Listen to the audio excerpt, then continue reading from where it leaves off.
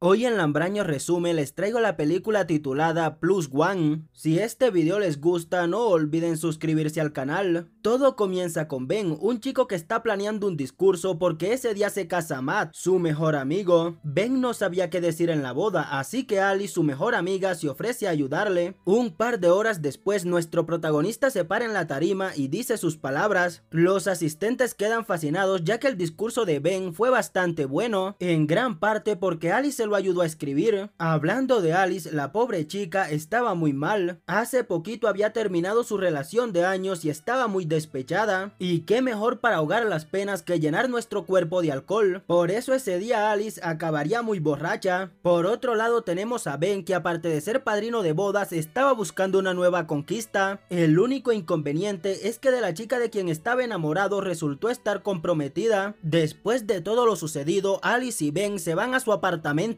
Ahí se dicen, todas las personas se están comprometiendo. Nosotros somos los únicos treintones que seguimos solterones. Minutos después, Ben tiene que consolar a Alice porque se pone a llorar por su ex. Un par de días después, nuestro protagonista va a casa de su padre quien le da una noticia que no le gusta mucho. Resulta que el viejo se va a casar pero Ben no está muy de acuerdo con eso. Su padre tuvo dos matrimonios y según Ben fueron un fracaso. Para empeorar más la situación, el padre de Ben le pide que sea padrino de bodas. Nuestro protagonista no supo qué contestar a eso porque no estaba preparado. Un par de semanas después, Alice y Ben asisten a otra boda. Sí, sé que son muchas bodas, pero acostúmbrense porque vendrán más. Como ellos dos tenían muchos compromisos de este tipo, Alice le hace una propuesta a nuestro protagonista, ir a todas las bodas juntos para que no se terminen aburriendo. Alice le dice a Ben que si acepta ir con ella a las bodas le ayudará a conseguir morritas. Ben no estaba muy seguro de esto si juntaban las bodas de ellos dos serían muchos compromisos. Cuando digo las bodas de ellos dos es a las bodas que estaban invitados ambos y la verdad no comprendo por qué los invitaban tanto a bodas, aunque puedo imaginar que eran muy sociables en el colegio y esos amigos de la adolescencia ahora se están casando y siempre los invitan, pero bueno, después de un par de minutos, Ben piensa lo que le dijo Alice y le dice que sí, él la acompaña a las bodas a las que está invitada ella y viceversa. Por cierto, ustedes en este momento se deben estar preguntando si Ben y Alice comparten apartamento y también comparten cama, ¿por qué no son nada? Bueno, porque al parecer nuestros protagonistas solo se ven como amigos. Alice y Ben asisten a una de las bodas, luego que esta termina se van al hotel. Como ambos estaban muy cansados deciden ir a la piscina. Ahí había una muchacha y Alice le cumple su promesa a Ben. Le dice maravillas de nuestro protagonista para que liguen horas más tarde, algo que se termina dando porque la chica sentía atracción por Ben, aunque esa noche las cosas no pasaron de un beso. En la mañana, Alice le pregunta qué tal le fue con la chica, a lo que Ben responde que bien, pero no es la indicada, porque sí, nuestro protagonista tenía estándares muy altos, él quería encontrar al amor de su vida solo en cuestión de minutos, algo que para ser sinceros iba a estar muy complicado. Pasan un par de meses y Alice y Ben asisten a un par de bodas más. Un día van al compromiso del papá de nuestro protagonista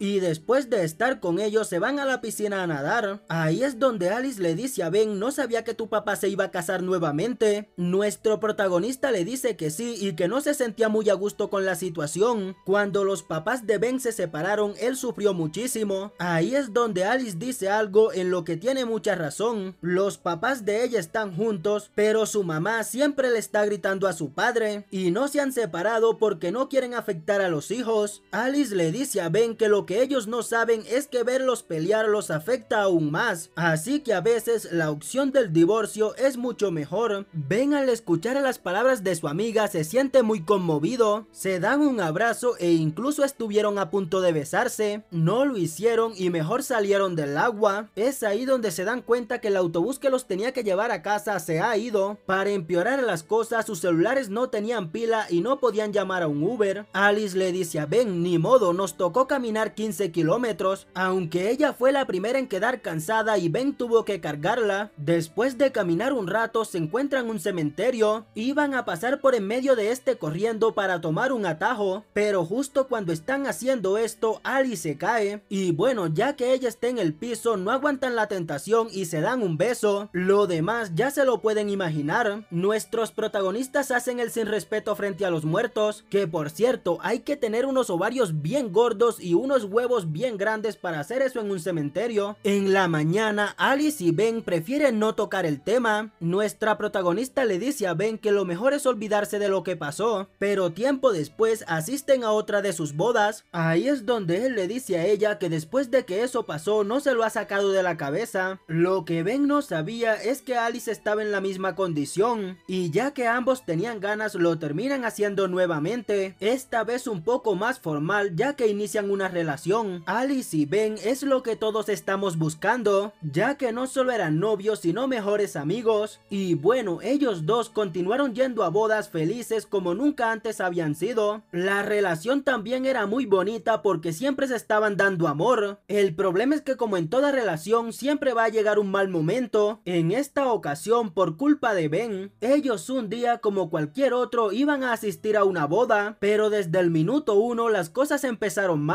A Alice se le olvidó el regalo para la pareja y Ben estaba muy molesto. Ella le dice que no es para tanto, pero aún así él seguía indignado. Minutos después nos damos cuenta que su actitud rara no tiene nada que ver con el regalo. Alice le dice lo mucho que lo ama, pero Ben no corresponde a sus palabras y es que él no se sentía muy seguro en la relación, ya sea porque lo de él y Alice fue muy repentino o por cualquier otro motivo. Lo único que les puedo asegurar es que ese día ella se fue con el corazón roto, amaba a nuestro protagonista y creía que podían tener un futuro. Después de eso, Ben asiste a otra boda, ahí se pone algo pesado con unas chicas y un amigo de él se da cuenta. Ben le confiesa lo que pasó con Alice y cómo no estaba seguro de la relación. Él no sabía si ellos dos iban a tener algún futuro. Ahí es donde su amigo le dice, no seas tonto, uno no se enamora de alguien por el mañana, sino por el presente. Su amigo también le dice que cuando un hombre le pide matrimonio a su novia no es porque creen que van a durar para toda la vida, sino porque en ese momento sienten la necesidad de expresarle a todos lo que están sintiendo. Y bueno, el amigo de Ben le dijo un montón de cosas más, pero si se las digo ahora seguro el resumen se haría muy largo. Lo importante es que nuestro protagonista comprendió que lo más importante es concentrarse en el hoy, que si vives pensando en el mañana seguramente será muy difícil ser feliz. Ben al darse cuenta que fue un tonto al dejar a Alice decide ir a buscarla, solo que ya era un poco tarde, ella había regresado con su ex. ¿Por qué lo hizo? La verdad no lo sé, la película no profundiza mucho en este tema, aunque por suerte en un momento donde Alice se quedó sola, Ben pudo decirle todo lo que sentía. Ella no le da una respuesta porque en ese momento es interrumpida por su novio, pero se notaba en sus ojos que aún seguía enamorada de él. Algo a mencionar es que el miedo que tenía Ben sobre el futuro era por lo que pasó con sus padres. Él miedo a casarse con alguien y terminar separados como ellos dos, pero bueno, meses después esta película tiene un final feliz. Alice no estaba enamorada de su ex, me imagino que se metió con él tal vez por despecho. Por eso ella y Ben acabaron regresando. Y bueno gente, así termina el resumen. Si les gustó el video no olviden suscribirse. Chao chao.